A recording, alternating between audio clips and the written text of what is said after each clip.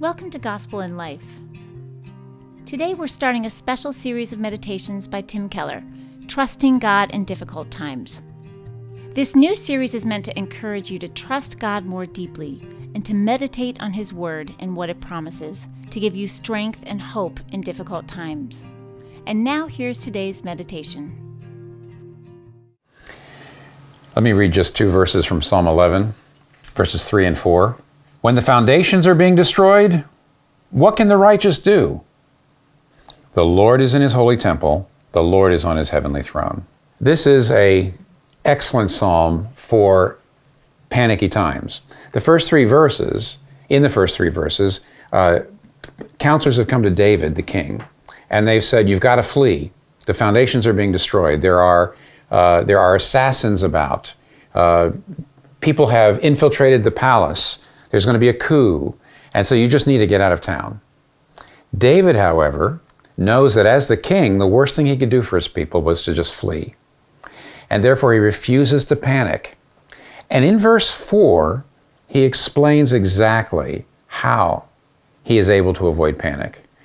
He says two things. He says, The Lord is in his holy temple, the Lord is on his heavenly throne. That's a reason for the mind and a reason for the heart that hold, keeps you from panic. Let's do the reason for the mind first. The Lord is on his heavenly throne. Now, God is ruling the world. There is a plan. That's what David is reminding himself of.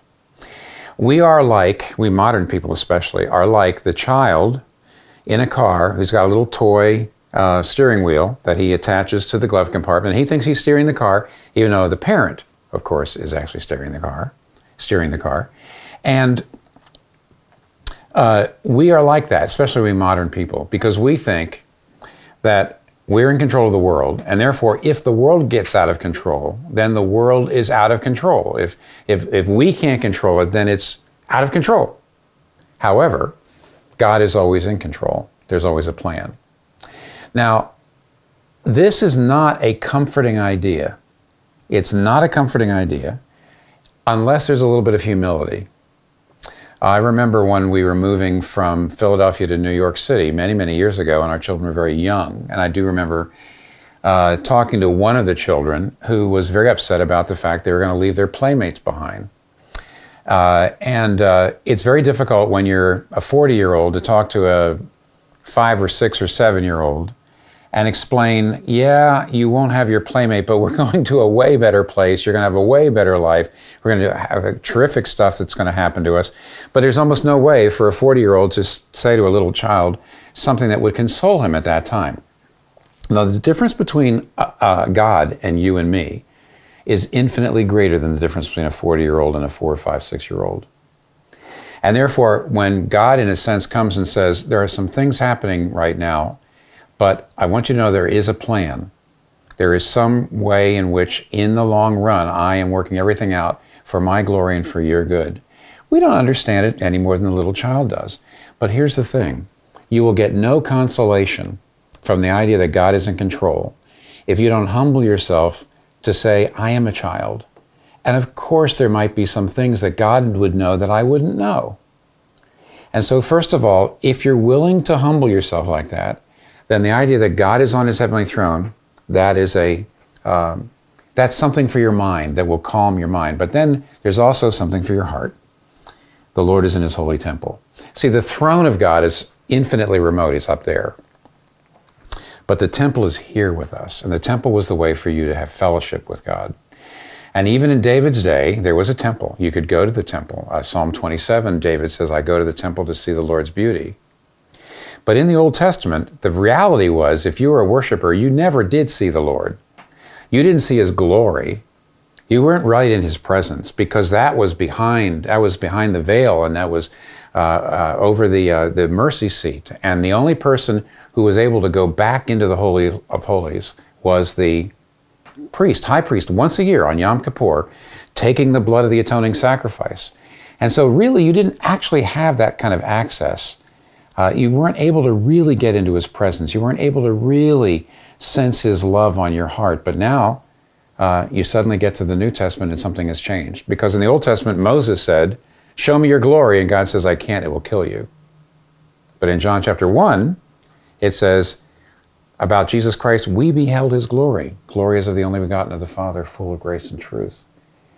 How could that be? Well, the answer is when Jesus cast the money changers out of the temple in John chapter 2, he said, Tear this temple down and I'll build it back up in three days. And he was talking about his body. And what does that mean? He's what he's saying is, I'm the temple. I'm the bridge between deity and humanity. Uh, I am the great high priest. I am the great sacrifice. Because of my death on the cross, because I've paid for your sins, the veil in the temple was ripped from top to bottom. That's what it, the Bible says happened the moment he died. And now you can actually go right in and you can see his face. And you can sense his presence through prayer, through faith in the gospel, through the Word of God. And you can actually know his presence because the Lord is in his holy temple, and his holy temple is Jesus Christ himself, the final temple, the true temple.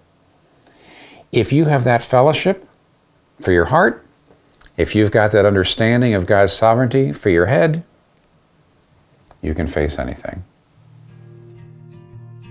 And now here's Tim and Kathy Keller for a short time of Q&A on today's meditation. Uh, if God's really in control of the world, then why does he let stuff like this happen? this meaning the current moment with the worldwide pandemic, or before that, any of the terrible things like earthquakes or cancer or um, just name whatever you want to. I mean, I can understand. This, this is not my question, obviously. It's a, a question that keeps coming up in conversations, and we get sent to uh, the Gospel in Life website, which, by the way, is correspondence at gospelinlife.org if you have a question.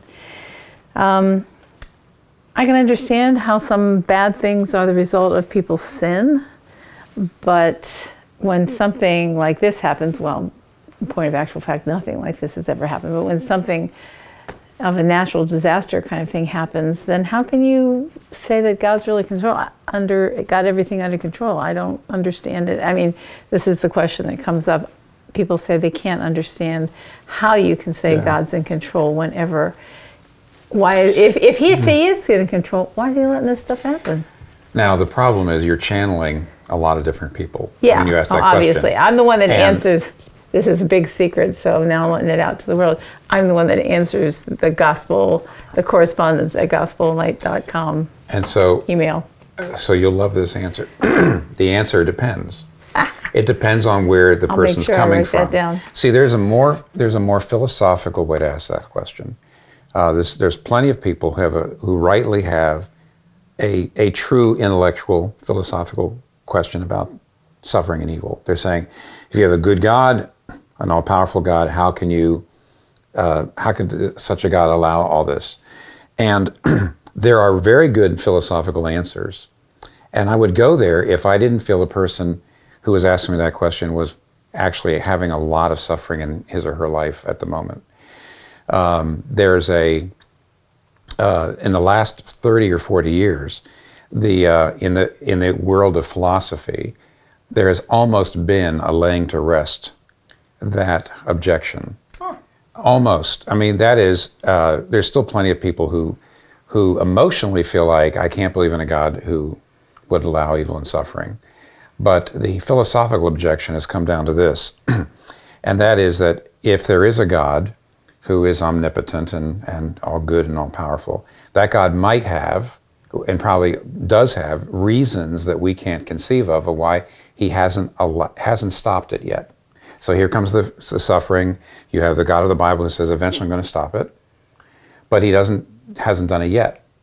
And uh, there's a, Alvin Plantinga and a number of other uh, philosophers have done a wonderful job writing very, uh, fairly difficult to read books but are very, very closely reasoned that basically say you can't assume that because you can't think of a good reason why God would allow evil and suffering, that there can't be a good reason that we just can't perceive. And I was trying to get at that. Yeah, your point talk. about the child and the father That's trying right. to explain it was, that was basically trying to channel Alvin Plantinga's argument. So philosophically, it doesn't mean there can't be a God. It, we, can, we can struggle, just like Job did. But Job struggled with the fact that he was suffering, but he never said, well, there can't be a God. Uh, on the other hand, if the person who's asking me this question is actually suffering quite a bit themselves, I wouldn't go there because that's just not what they need. I would go to the cross. I would say, look, uh, uh, without showing too much disrespect to all the other world religions, we're the only religion that has a God who actually came and involved himself in suffering uh, in order to save us. And therefore, we don't know what, we may not know what the reason for your suffering is, but we know what the reason for your suffering isn't. It isn't that God doesn't love you. Didn't uh, John Stott ha- have a saying about that? I could never believe in a God who didn't suffer. And then there's that Well- poem. There's a poem by um, Yeah. Edward Shillito, I believe. Can you Yes, remember it? I do. Um, okay, I- well, if you remember it, you're better off than me because I can just The- remember that it exists. I can't remember. Edward what it says. Shillito, he said this. He said, it's a poem, um, and speaking to Jesus, he says, The other gods were strong, but thou wast weak. They rode, thou didst stumble to thy throne. To our wounds, only God's wounds can speak, and no God has wounds but thou alone. Yeah. And that's, I think, That's how you talk to a suffering person and say, I don't know why God allowed this, but I do know it's not that He doesn't love you. If you found today's meditation encouraging, please subscribe below and be sure to share it with a friend to encourage them as well. And if you'd like to hear more teachings by Tim Keller, you can listen to new sermons every week at gospelinlife.com slash podcast. Thanks again for watching Gospel in Life.